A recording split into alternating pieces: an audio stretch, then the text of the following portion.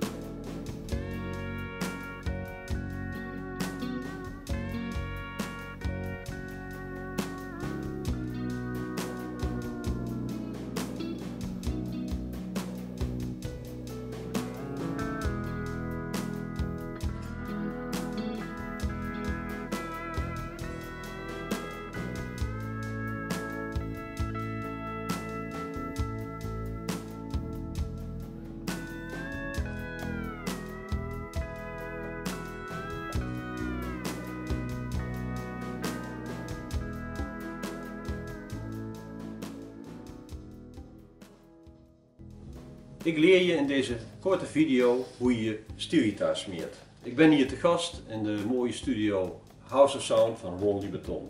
Hier heb ik alle ruimte om, uh, om de stiergitaar heen te lopen en uh, om hier op te nemen. Ik leer je welke onderdelen belangrijk zijn van de stiergitaar om te smeren en hoe je dat aanpakt. Wat gebruik je?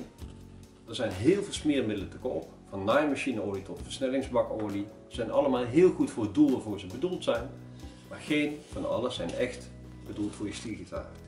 Het ene middel trekt stof aan, het andere middel bevat zuren die metaal in je stiergitaar kunnen aantasten of waarop je allergisch kunt reageren. Of het anders smeert te weinig. En na meer dan 40 jaar van alles gebruikt te hebben, ben ik uh, op zoek gegaan naar een ultieme olie. Die was er niet, dus samen met de firma Sommerhof, met hun laboratorium, hebben we een olie ontwikkeld die aan alle eisen voldoet. Hier zie je de verpakking. Ik heb de olie al eruit gehaald. En dat is deze olie. Ziet er een beetje wittig uit. Het is een mix van teflon en van een hele hoogwaardige kruipolie. Uh, deze olie die trekt geen stof aan, deze olie smeert, die reageert niet op metalen. En of je nou een vintage stielgitaar hebt of dat je nou een uh, hele moderne stiel hebt, hij is voor alles goed. Die olie die komt in deze verpakking dus en daarin zit een trechter, dit, waarmee je een pen kunt vullen en dat is deze pen. Een precisiepen. Laat even zien hoe dat werkt. Kijk, je kunt hem hier uit elkaar halen, zo. En dan zie je hier een naald waarmee je op een gegeven moment je stiergitaar kunt smeren. En hier druk je op en dan komt iedere keer een druppel olie uit. En dan ga ik even heel uitvoerig laten zien. Die pen kun je opendraaien. Zo. Boven zit een uh, knop. Zo, kijk. Dopje kun je eraf halen. En dan kan hier 5 milliliter olie in. Nou, dat is een beetje moeilijk om met een flesje erin te gieten. Dus daar is een trechter bij. Die zet je erin. Zo hier. Het beste is dat je die pen eventjes in een glaasje zet, zodat hij blijft staan. Dan heb je handen vrij om hem te vullen. Hij is nu intussen al gevuld, dus dat hoeft niet. Zo. Topje erop. Oké. Dan kun je zien, ik leg hier dit even neer. Als ik dit hier onder eraf draai en ik druk hier achter op deze knop, dan komt er een druppel olie uit. Kijk maar. Zie je? En een druppel olie is genoeg, daar kun je heel nauwkeurig mee doseren waar je olie wil hebben.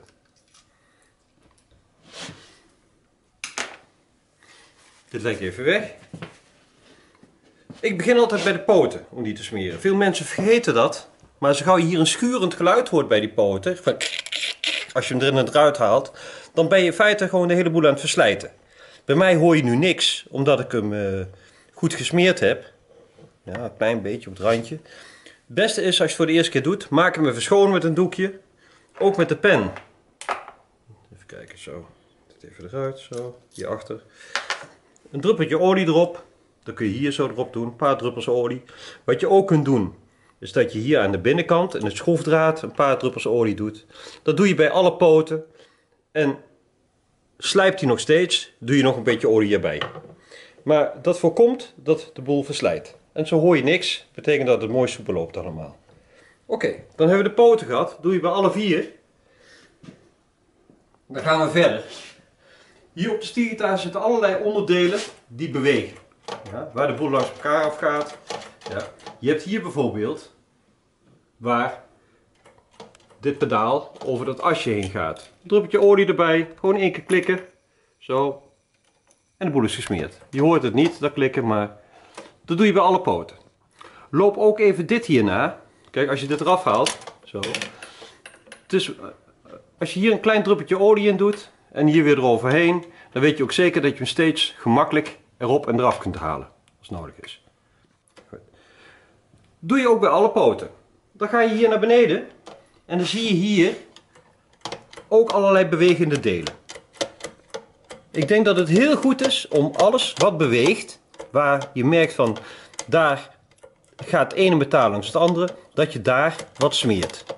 Dan heb je dit gehad, dan zie je als je hier een pedaal intrapt, zo ik zal even zo hier doen, zie je hier, dit noemen ze de bell cranks.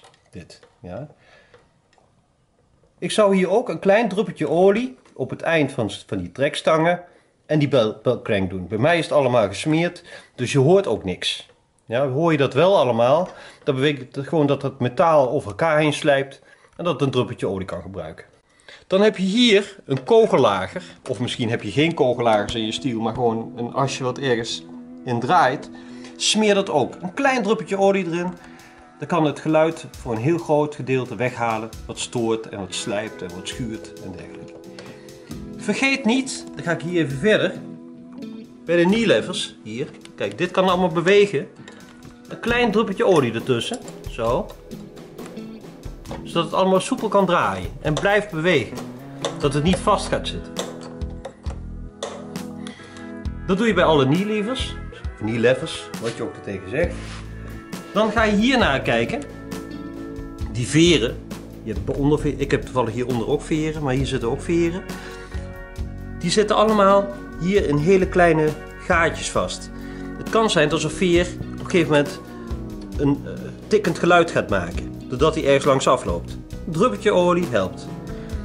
Hieronder, die veren, daar zitten de platen van de changer. Dat zijn eigenlijk eh, van die changervingers. Dat zijn van die platen die echt langs elkaar afschuren. Ja, daar kan stof tussen komen. Altijd uitkijken dat er geen stukje van de snaar tussen hangt dat de hele boel vast zit. Ook een druppel olie, dat houdt de boel heel goed soepel. Ja? Doe er niet zoveel olie op dat de boel gaat druipen. Als je merkt dat je veel olie erop gedaan hebt, even een doekje eroverheen. Er blijft toch wel een film van die olie achter. Oké, dat was de onderkant. Je ziet, ik heb de stuurgitaar intussen omgedraaid. We gaan nu verder met de twee belangrijkste onderdelen die gesmeerd moeten worden op de stuurgitaar. Dat zijn de rollers, die zitten hier, en de changer. De rollers, je draait eerst de snaar los. Misschien is het zelfs nog beter dat je die smeert wanneer je je stiergitaar, uh, wanneer je de snaren wisselt. Dat zou ik zeker één keer in de drie maanden doen. Nou haal ik de snaar eraf en dan heb je hier een wieletje. Dat wieletje moet vrij kunnen draaien. Ja? Als dat niet vrij draait, of sowieso zou ik het doen, een heel klein druppeltje olie, ik zal even van deze kant af doen zo, tussen het wieletje en dat asje waar die overheen loopt. En ook op het wieletje, zodat de snaar in een soort oliebad ligt. Ja, dan kan die ook vrij bewegen en dan kan die, dus die legt de snaar weer op. Ja, wat je ook kunt doen is een paar keer het rolletje op en neer bewegen. Dit veroorzaakt namelijk het tikkende geluid en ook dat je snaar niet goed terugkomt. Samen met de changer natuurlijk. Dan draai je weer vast, zo. Dus dat is het gedeelte wat je doet bij de rollers. Dan gaan we nu naar de changer.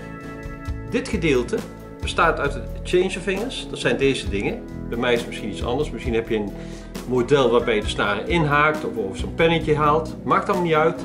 Het werkt allemaal op dezelfde manier. Er zit een as binnenin en daar lopen van die platen overheen die kunnen draaien. Dat is een enorm uh, nauwkeurig mechanisme en dat mag niet slijten. Doe hier tussen die vingers een beetje olie op de as, overal tussendoor en trap op je pedalen. Dan zie je dat die bewegen en dan loopt die, dan loopt die olie richting as. Doe dat vaak genoeg. Doe je dat niet, dan krijg je van dat zwarte spul ertussen. Dat is allemaal slijpstof en dergelijke. Houd dit goed bij. Zeker één keer in de drie maanden doen. Ja? Ook als je snaren wisselt, een druppeltje olie op de, uh, op de changervinger. En af en toe, wanneer je ziet dat er groeven komen, polijsten. En de polijsten moet je echt doen uh, in de richting, dus rond, ja, met de richting van de vingers mee. Maak nooit platte vlakken, die krijgen er nooit meer uit. En je snaar gaat aan alle kanten raar geluiden maken. Dat was het. Heel veel succes ermee.